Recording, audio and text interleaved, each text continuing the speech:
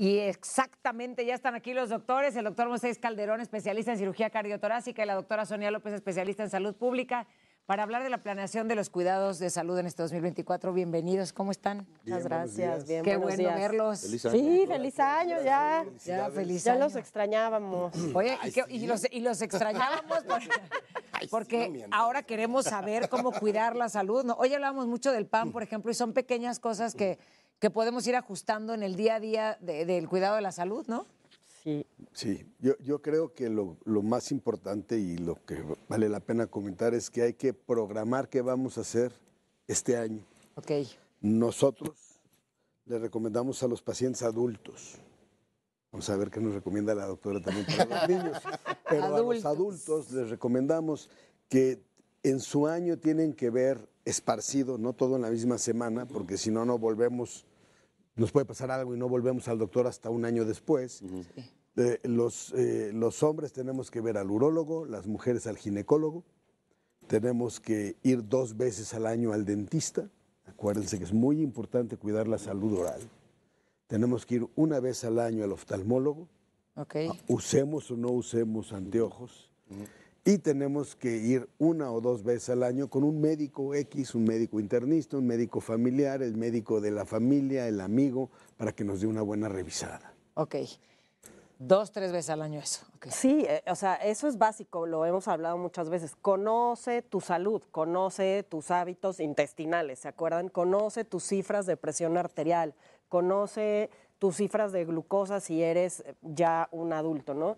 Y otra cosa también en este tema de, de empezando el año, y es todas estas metas ¿no? Que la gente se pone el 20 el próximo año, a partir el primero de enero, el 2 de enero, voy a empezar la dieta, voy a ir al gimnasio, voy a, a, este, a dejar de fumar, voy a dejar de comer pan. Ajá. Entonces, ese tipo de metas hay que ponerse metas realistas. Claro. ¿no? O sea, el, el 2 de enero, el 3 de enero, los gimnasios están llenos, o sea, las nutriólogas, los nutriólogos están hasta arriba de consulta, digo, está bien, Pero a las tres semanas se acaba. pero a las tres semanas esa curva de esta, este rush y esta emoción baja, ¿no? Entonces, ¿qué es importante? O sea, ponerse metas, eh, pues, realistas, ¿no? O sea, está bien empezar a hacer ejercicio. Si no te movías nada y empiezas a hacer un poco de ejercicio, está bien, siempre asesorado por, por personas que se dedican a esto, ¿no? Em, hacer, empezar a hacer deporte, o sea, dejar esta vida sedentaria. No, no te vas a poner a correr el triatlón. ¿Cuáles son los errores más comunes que, que- que tiene la, la gente eh, al querer tomar estas decisiones de principios de año y de cambios Que radicales? tengan que ver con salud. La, la- la Sí, realidad sí, es que con sus hay, hay- hay un- hay una, una serie de, de, eh, eventos muy bien identificados, por ejemplo, como es el deportista de fin de semana. Nosotros hemos tenido, y muchas veces parece de Ripley, ¿no? Hoy fue mi, me inscribí en el reto 54. Y en su primer día llegan al hospital infartados. Wow. Sí, pues no sabía que estaba enfermo. Exacto. Sí, y le ponen a llenar un cuestionario ahí muy vago y lo trepan a hacer ejercicio este, extenuante y bueno, pues claro que se pone malo. La otra cuestión es, Pero a ver, ¿cómo, cómo previenes eso? Porque todo el mundo dice, pues yo voy al gimnasio, si tienes que ir a un doctor a decirle, revísenme antes, Sí, o sea, el corazón y todo para empezar a hacer ejercicio. Pero es que si cada año hiciéramos esto que nos recomiendan de Sí, ir. O sea, a los, a los conocer tu distintos especialistas que nos dicen, Ya podríamos, claro. La visita de los siete médicos. no, imagínate, Por ahí. imagínate, eh, me- nos platican en- en- cuando estamos en el hospital entre cirugía y cirugía, platicamos con diferentes especialistas, los ortopedistas nos cuentan de la bolón de lesiones, de que es que este año voy a correr un maratón. Sí. y, y- y, pues eh, se, se lastiman las rodillas, la cadera, los tobillos, la columna. Todo. Este, por, y, y- y quién los asesora? No, pues van ahí, se consiguen un coach, estábamos hablando ahorita de los coaches, eh, que no es gente muy, muy profesional. Depe- exacto, hay que buscar Hay- coaches certificados, Hay o que gente que, haya buscar estudiado. gente sí. que haya estudiado, que esté certificada. No estamos diciendo nada, porque si no nos van a tundir. O sea, pero cancelar. No, siempre buscar a No, alguien pero buscar a alguien, o sea, en certificado, que sepa lo que está hablando, ¿no? Que tenga algo que lo avale Sí. sobre lo que está recomendando. Entonces, está bien hacer, de- digo, de pasar de ser, o sea, pero no podemos pasar del cero al 100, no Claro. somos Ferrari. Sí. O sea, tenemos que empezar poco a poco a, a- a, a empezar a dejar esta vida sedentaria, conocer, conocer tu salud. Pero justo eso que dicen, o sea, si nosotros tuviéramos esa planeación de ir al oftalmólogo, al cardiólogo al- una vez al año, por lo menos, ¿no? O sea, porque cuánta gente no va, no vamos nunca. Nunca. ¿no? O sea, entonces ir al, ir al urólogo tiene que ser una vez al año. Al, al ginecólogo, Al ginecólogo, dentista dos veces al año sí, hacerse su limpieza. y tres veces con un doctor general. Sí, con tu, con tu médico de médico de cabecera, con tu médico de familia, con tu médico de confianza, ¿no? ¿Tres veces al año? Sí, Sí. ¿Y un estudio de sangre? dos. No, o sea, yo siempre recomiendo que te esperes a que el médico te lo pida, porque a veces tú puedes llegar y ves un paquete así, paquete, chécate, ¿no? Y te, te saca todo tipo, entonces, pues ya gastaste dinero que a lo mejor no, No era necesario. no era necesario, ¿no? Incluso si, no sé, te duele una rodilla, vas, te sacas una resonancia y en realidad no era eso y ya gastaste un dineral, ¿no? Por eso es, siempre es importante consultar a un especialista, consultar a un especialista de lo que sea, de nutrición, del deporte, de la medicina, de, de- de lo que sea. Los, lo- los, los habituales, ¿Ok?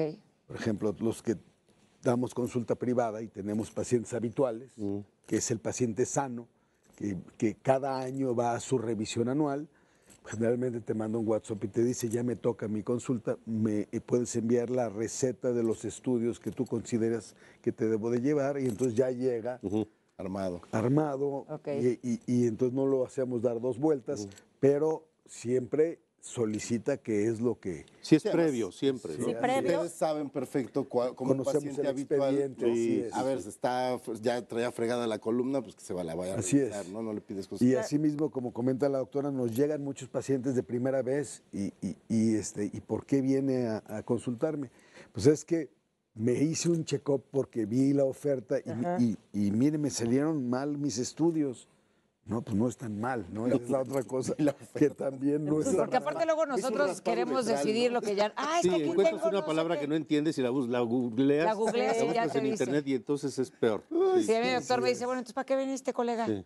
¿No? O sea, si ya sabías todos tus resultados. Sí, que, que, o sea, que no está mal, que no está mal que uno quiera buscar en internet. Lo que, lo que yo siempre recomiendo es saber dónde buscar.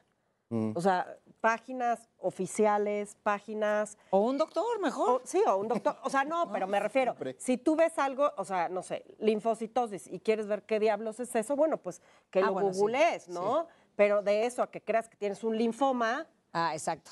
pues para eso tendrás Exacto. que ir con el experto a que te diga, ¿no? Entonces, ¿quieres bajar de peso? Acude con Sí. un médico, acude con un médico especialista en nutrición clínica o acude con una licenciada, licenciado en nutrición, que son los que saben de nutrición. Oye, hablando de eso, a ver si luego hablamos de los Empic o estas cosas que ahora... vez, ¿no? ok, No, porque sí. ese que lo platicamos, la gente ha preguntado muchas cosas. ¿Cómo no? ¿No? Sí, ¿cómo Sí, no? pues Sí. es que hay unos que están, hay unos que sí ya sabemos que son para perder peso, pero en ciertos pacientes, y hay otros que son exclusivamente para pacientes que viven con diabetes. Y la otra cuestión es que y esta década que viene o la que estamos viviendo, yo creo que el target de la, la- de, de tanto la, la, la- la medicina como, como una industria Sí. y la industria farmacéutica, el target es combatir la epidemia de obesidad y de diabetes. sobrepeso. Nos van a empezar a aparecer más y más y más productos. Eso está importante porque hoy justo con este sistema, con esto de cómo nos vamos a cuidar de salud, sí, yo quiero bajar de peso, entonces ya vi que artistas y que gente se ha puesto el Ozempic, entonces lo quiero usar y se lo inyectan, lo compran y se lo no. inyectan. Pero hay que hacer dieta, hay que hacer ejercicio. hay- Además de inyectarse. Es combinado, es medicamentos. O sea, combinado. ni mucho pan dulce, ni mucho sem- O sea, el problema no es que comas un pan dulce o dos, el problema es si eres sedentario, o sea, tiene que ver con la cantidad que comes y cuánta energía gastas. Y si alguien ya se puso Ozempic y hoy los está viendo, porque a mí me llegó un mensaje justo eso, por favor háblenlo, porque yo me puse una inyección de Ozempic y estoy bajando de peso, pero ya me dio miedo. O sea, una sola, Sí. Una Se la acaba de poner. o un no, pues, Ah, no un día sé. a la semana. Es un día a la semana. Ah, entonces, a ver, llevar Tiene una. que ir con un médico. que sepa sí, de eso. que sepa, porque también hay que, hay que combinarlo con otros medicamentos. Pues ve al doctor. Nos Sí, escribieron y- ayer, y justo que este, lo comentamos. No, y la otra cosa es que son medicamentos son costosos. muy caros, ¿eh? Sí, Justo. claro. Son medicamentos muy caros y vienen los de nueva generación. Ok. Entonces es importante acudir con un médico antes de llegar a la farmacia y Sí. gastarte Con 5 ello mil a pesos para no saber. Sí, mira, nosotros, Sí. nosotros donde estamos allá en, en Interlomas, incorporamos al grupo de cardio dos nutriólogas. Es básico. Este, y la gente nos pregunta, ¿por qué me mandas a la nutrióloga? Porque el 50% de tus problemas cardiovasculares es lo que comes. claro. Entonces, parte del tratamiento que te ofrecemos nosotros para complementarlo es que te eduquen a comer.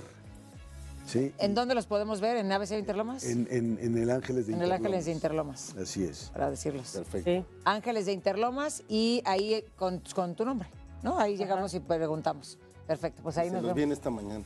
Sí, exacto. Exactamente. Gracias, gracias. No, Gracias, gracias. Buen vamos a regresar. Gracias.